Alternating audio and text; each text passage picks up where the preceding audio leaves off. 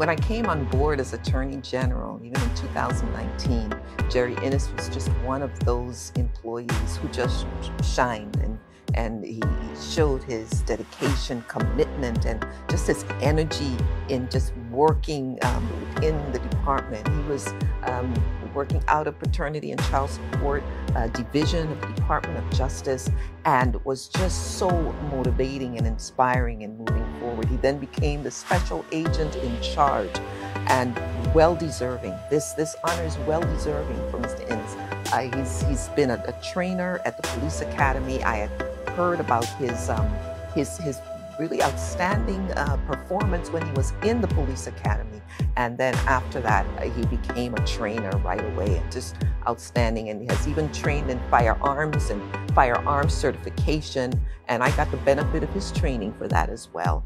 And so I congratulate you, Agent Inniss, Special Agent in Charge, as Employee of the Year. I'd like to say thank you to each and everyone that actually nominated me for this position, and I appreciate it very much.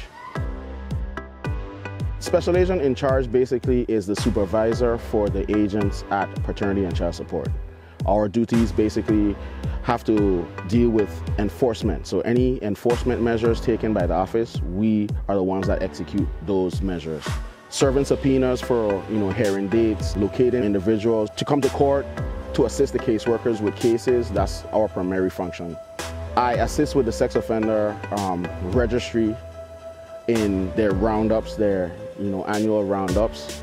I also help with witness protection. So whenever there there's a need for us to do witness protection, I'm one of the agents that assist with the witness protection. Of course, we're in the, the Attorney General's detail, so that's one of our functions that we, we do. I came in as a field investigator. That is a civilian investigator for paternity and child support. So um, I was unarmed. Um, I didn't have any arrest powers at that time, but um, I attended the Virgin Islands Police Academy and I, you know, attained peace officer status. I'm an instructor at the Virgin Islands Police Academy. Um, I'm a firearms instructor. I'm a OC and baton instructor. I am a tactical medical instructor. I'm an active shooter instructor. I'm a defensive tactics instructor.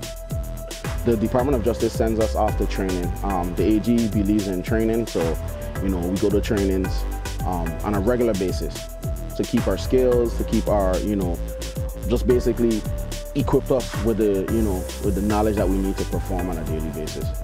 A lot of the trainings that I did was at the Federal Law Enforcement Training Center, um, as, as it's called. Um, I go away and we do, you know, sometimes week-long classes, two week-long classes, sometimes, you know, to get, you know, the trainings in. If you're law enforcement personnel and you want to come to paternity or, you know, Department of Justice, you have to be law enforcement sworn. So you have to have that peace officer status and, you know, we, we want people with degrees in criminal justice or some kind of expertise. It's strenuous at times. We do work a lot with other law enforcement agencies. In my capacity as the special agent in charge, I basically oversee the unit, but I also have to, you know, fill in when there's a void. So oftentimes I do that. I work late hours. Um, typically, my day starts at 3 o'clock in the morning. So um, I get up at 3, I head to the police academy, I do physical training with the recruits, and then my day starts at 8 o'clock. After that, my official paternity day starts at 8 o'clock.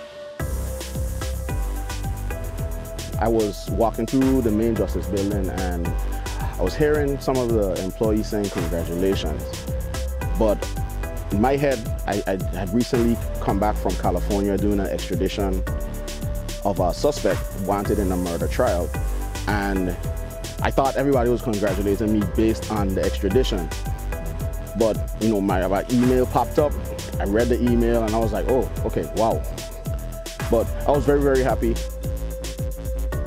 Thank you to the Department of Justice, uh, the Attorney General, the Director of Paternity and Child Support, Mr. Joseph, my direct supervisor, Ms. Catherine Jensen DeLugo, and the whole nominating committee. I can't forget Mr. Trapman, the Human Resources Director.